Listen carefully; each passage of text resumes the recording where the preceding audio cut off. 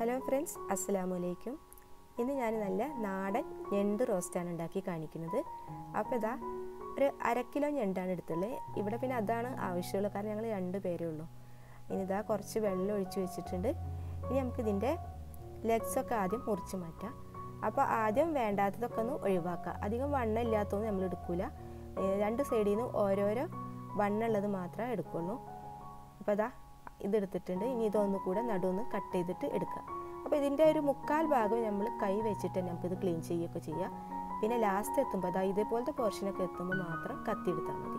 അപ്പോൾ അത് ഭയങ്കര ഈസിയാണ് ഇത് കട്ട് ചെയ്തിട്ട് എടുക്കാനൊക്കെ. അപ്പോൾ ഇപ്പോഴത്തെ ജനറേഷനൊന്നും ഇത് ഇഷ്ടമുണ്ടാവില്ല. ഞണ്ട് തൊടുന്ന പേടിക്ക് വേണ്ടിയിട്ട് ചിലപ്പോൾ ഞണ്ട് പേടിക്കാതിരിക്കും. ഞണ്ട് കഴിക്കാനൊക്കെ ഇഷ്ടമുണ്ടായിരിക്കും. പക്ഷെ ഭയങ്കര ഈസിയാണ് കേട്ടോ ഇത് ചെയ്യാൻ വേണ്ടിയിട്ട്. ഒരു പേടിയും പേടിക്കേണ്ട. പിന്നെ മീൻ മുറിക്കണേക്കാളും ഈസി ആയിട്ട് നമുക്കിത് ചെയ്യാൻ പറ്റും. ഇത് നല്ല കുറച്ചുകൂടെ ഒരു വലുപ്പമുള്ള ഞണ്ടൊക്കെ ആണെങ്കിൽ ഇതിങ്ങനെ കട്ട് ചെയ്ത് കഴിഞ്ഞാൽ ഒന്നുകൂടെ നടുവൊന്ന് കട്ട് ചെയ്തിട്ടാണ് എടുക്കുക.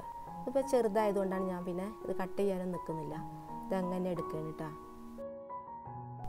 ഇതിങ്ങനെ കാണുമ്പോൾ വിചാരിക്കും ഒരുപാടുണ്ടെന്ന്. പക്ഷെ ക്ലീനിങ് ഒക്കെ കഴിഞ്ഞ് വരുമ്പോൾ വളരെ കുറച്ചേ ഉണ്ടാവുള്ളൂ. പിന്നെ കുക്കിംഗ് കഴിഞ്ഞ് വരുമ്പോഴേക്കും ഒന്നുകൂടെ ഇതങ്ങ് ചുരുങ്ങിയ പോലെ ആവും. പിന്നെ ഞാൻ ഇതിലേക്ക് മുളകും മല്ലിയൊക്കെ ഒന്ന് വറുത്തരക്കുക ചെയ്യുന്നത്. പിന്നെ തേങ്ങ ചേർക്കണമൊന്നുമില്ല കേട്ടോ. ആ തേങ്ങ ഒന്നും ചേർക്കാത്ത ഞണ്ട് റോസ്റ്റാണ് പിന്നെ ഗ്രേവി പോലൊക്കെ വേണമെന്നുണ്ടെങ്കിൽ കുറച്ച് കട്ടി തേങ്ങാപ്പാൽ കൂടെ ചേർത്ത് കൊടുത്താൽ മതി. പിന്നെ ഇതിന്റെ വേസ്റ്റ് ഭാഗം പെട്ടെന്ന് തന്നെ പുറത്ത് കൊണ്ടുവിടണം കേട്ടോ. ഭയങ്കര സ്മെല്ലായിരിക്കും. നമ്മളെ മീനേക്കാളും കഷ്ടമാണ്. അപ്പോൾ അത് ആദ്യം തന്നെ ഒരു കവറിൽ കെട്ടിയിട്ട് അത് മാറ്റി വെച്ചാൽ മതി. പിന്നെ അത് പെട്ടെന്നൊന്നും നമുക്ക് കൊണ്ടിടാൻ ടൈം ഇല്ലെങ്കിൽ അതൊരു കവറിൽ കെട്ടിയിട്ട് ഫ്രീസറിലേക്ക് മാറ്റി വെച്ചാൽ മതി. എപ്പോഴാണ് കൊണ്ടിടുന്ന വെച്ചാൽ അതിൽ നിന്ന് എടുത്തിട്ട് നമ്മൾ കൊണ്ടിട്ടാൽ മതിയല്ലോ. അപ്പോൾ അത്ര തന്നെ സ്മെല്ലൊന്നും ഉണ്ടാവില്ല. പിന്നെ ഇതാ എല്ലാം കട്ട് ചെയ്ത് കഴിഞ്ഞ് ഇനി ഇതാ ക്ലീൻ ചെയ്തിട്ട് നല്ലോണം രണ്ട് മൂന്ന് പ്രാവശ്യം ഇത് കഴുകിയിട്ട് എടുക്കണം കേട്ടോ. ഇനി നമുക്കിത് ഒരു വെള്ളം വാർന്ന് പോകാൻ വേണ്ടിയിട്ട് ഇതുപോലത്തെ ഒരു അരിപ്പയിലേക്ക് മാറ്റിയിട്ട് മാറ്റി വെക്കാം. ഇനി ഇതിലേക്കുള്ള മസാല ഉണ്ടാക്കാൻ രണ്ട് സവാളയാണ് എടുത്തിട്ടുള്ളത് കേട്ടോ. അങ്ങ് അര കിലോ ഞണ്ടല്ലേ ഉള്ളൂ. അപ്പോൾ രണ്ട് സവാള എടുത്താൽ മതി. ഞാൻ ലെഫ്റ്റ് ഹാൻഡ് ആയിട്ട് ചെയ്യുമ്പോൾ നിങ്ങൾക്ക് കാണുമ്പോൾ എന്തോ ഒരു ബുദ്ധിമുട്ട് തോന്നുന്നുണ്ടാവും. ഞാൻ എല്ലാ കാര്യങ്ങളും ഇങ്ങനെ തന്നെ ചെയ്യാറ്. കത്തി പിടിക്കുന്ന കാര്യമല്ല ലെഫ്റ്റ് ഹാൻഡാണ് യൂസ് ചെയ്യുക കേട്ടോ.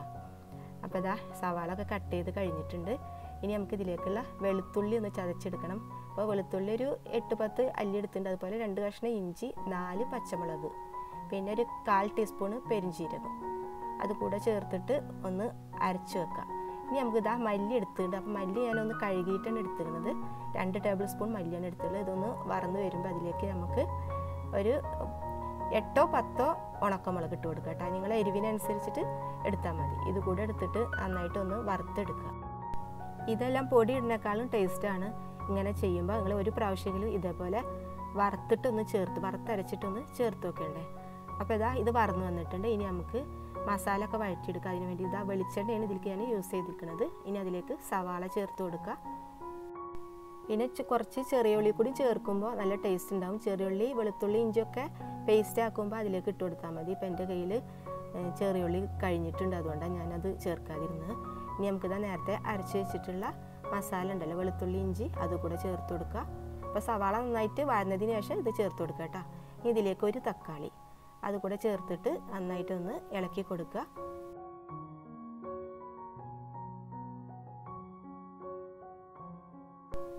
ഇനി ഇതിലേക്ക് ആവശ്യത്തിനുള്ള ഉപ്പ് ചേർത്ത് കൊടുക്കുക. എന്നിട്ട് ജസ്റ്റ് ഒന്ന് മിക്സ് ചെയ്തതിന് ശേഷം നമുക്കിതൊന്ന് അടച്ചു വെച്ചിട്ടൊന്ന് വേവിക്കാം തക്കാളിയൊക്കെ ഒന്ന് ഉടഞ്ഞു വരാൻ വേണ്ടിയിട്ടാണ്. ഇനി നമുക്ക് മുളകും മല്ലിയും അരച്ച് വെച്ചിട്ടുണ്ട്. അതുകൂടെ ഇതിലേക്ക് ചേർത്ത് കൊടുക്കുക. അപ്പോൾ ഇത് അരക്കുമ്പോൾ ഞാനൊരു രണ്ട് മൂന്ന് ടേബിൾ സ്പൂൺ വെള്ളക്കൂടിയും ചേർത്തിട്ടാണ് അരച്ചെടുത്തേക്കുന്നത്. ആദ്യം ഒന്ന് പൊടിച്ചതിന് ശേഷം വെള്ളം ഒഴിച്ച് കൊടുക്കുക കേട്ടോ. അതുകൂടെ ചേർത്തിട്ട് ഈ മസാല ഒന്ന് ഒന്നുകൂടെ ഒന്ന് ഇതിലിട്ടിട്ടൊന്ന് വഴന്ന് വരണം. അതിന് ശേഷം അതിലേക്ക് ഒരു സംഭവം ചേർക്കാൻ മറന്നതിന് മഞ്ഞൾപ്പൊടി ഒരു കാൽ ടീസ്പൂൺ മഞ്ഞൾപ്പൊടി കൂടി ചേർത്ത് കൊടുത്തിട്ടുണ്ട്. അതുകൂടെ ചേർത്തിട്ട് നന്നായിട്ടൊന്ന് വഴന്നു വരട്ടെ. ഇനി നിങ്ങൾക്ക് ഇതിലേക്ക് ഇഷ്ടമുണ്ടെങ്കിൽ മാത്രം അര ടീസ്പൂൺ ഗരം മസാല ചേർത്ത് കൊടുക്കാം. കാരണം ഇതൊരു ഫിഷ് ഐറ്റം ആണല്ലോ. അപ്പോൾ അതുകൊണ്ട് ചിലർക്ക് ഇഷ്ടമുണ്ടാവില്ല. ഇനി കുറച്ച് കറിവേപ്പില കൂടെ ചേർത്ത് കൊടുക്കാം. അതുകൂടെ ചേർത്തിട്ട് നന്നായി മിക്സ് ചെയ്തതിന് ശേഷം നമ്മൾ ക്ലീൻ ചെയ്ത് വെച്ചിട്ടുള്ള ഞണ്ട് കൂടെ ചേർത്ത് കൊടുക്കുക. ഇത് നന്നായിട്ട് മിക്സ് ചെയ്ത് നല്ല മസാല ഒക്കെ ഒന്ന് പൊതിഞ്ഞ് വരണം അതിമേ. അപ്പോൾ ഒന്ന് മിക്സ് ചെയ്തതിന് ശേഷം പിന്നെ ഇനി ഇതൊരു അഞ്ച് മിനിറ്റോളം ഒന്ന് അടച്ചു വെച്ചിട്ട് തന്നെ കുക്ക് ചെയ്യണം കേട്ടോ. വെള്ളമൊന്നും ചേർക്കാതെ. ഇപ്പോൾ ഇതാ അഞ്ച് മിനിറ്റിന് ശേഷം മസാല ഒക്കെ നല്ലോണം ഇങ്ങനെ ഞണ്ടുമ്മിൽ ഇങ്ങനെ കവർ ചെയ്ത് വന്നിട്ടുണ്ട്. ഇനി ഇതിലേക്ക് നല്ല തിളച്ച വെള്ളം നല്ല ചൂട് വെള്ളമാണ് ഒഴിച്ചു കൊടുത്തത് രണ്ട് കപ്പ് കേട്ടോ അതുകൂടെ ചേർത്തിട്ട് ഉപ്പുണ്ടെങ്കിൽ ഇടണ്ട. ഇപ്പോൾ ലേശം ഒരു ഉപ്പിന്റെ ഒരു കുറവുണ്ട്. അപ്പോൾ ഞാൻ ചേർത്ത് കൊടുത്തു. ആദ്യം തന്നെ കൂടുതൽ ചേർക്കരുത്. ചില ഞണ്ടുകളിൽ നിന്ന് ഉപ്പ് നല്ലോണം ഇറങ്ങി വരും. അപ്പോൾ ലേശം ഉപ്പിന്റെ കുറവുണ്ട്. ഇനി ഒന്നും കൂടെ ക്ലോസ് ചെയ്ത് വെക്കുക കേട്ടോ. അങ്ങനെ ഒരു ഇരുപത് മിനിറ്റ് വേവിക്കുക ഇടയ്ക്കിടയ്ക്ക് ഇതുപോലെ തന്നെ എടുത്തിട്ടൊന്ന് ഇളക്കി കൊടുത്ത് നോക്കണം കേട്ടോ. അപ്പോൾ അതാ മസാല ഒക്കെ നല്ലോണം പിടിച്ച് നല്ല നല്ലോണം വരണ്ട് വന്നിട്ടുണ്ട്. ഇനി ഇതിലേക്ക് കുറച്ച് മല്ലിയില കൂടി ചേർത്ത് കൊടുത്തിട്ട് അപ്പോൾ നമ്മുടെ ഞണ്ട് റോസ്റ്റ് ഇവിടെ റെഡി ആയിട്ടുണ്ട് കേട്ടോ. അപ്പോൾ ഇതാ ലാസ്റ്റ് ഒരു ഒന്നോ രണ്ടോ ടേബിൾ സ്പൂണ് വെളിച്ചെണ്ണ. ഇത് കൂടെ ഒഴിച്ചു കൊടുക്കുമ്പോൾ നല്ലൊരു ഫ്ലേവറാണ് ഈ ഒരു അഞ്ചോ പത്തോ മിനിറ്റ് ഒന്ന് ക്ലോസ് ചെയ്തിട്ട് വെക്കാം കേട്ടോ അപ്പോൾ ഇതാ അടിപൊളിയായിട്ട് ഇതാ ഞണ്ട് റോസ്റ്റ് ഇവിടെ റെഡി ആയി വന്നിട്ടുണ്ട് അപ്പോൾ ഇതേപോലെ ഒരു പ്രാവശ്യമെങ്കിലും ഒന്ന് ട്രൈ ചെയ്ത് നോക്കുക കേട്ടോ ഇൻഷാല്ല നെക്സ്റ്റ് വീഡിയോയിൽ കാണാം.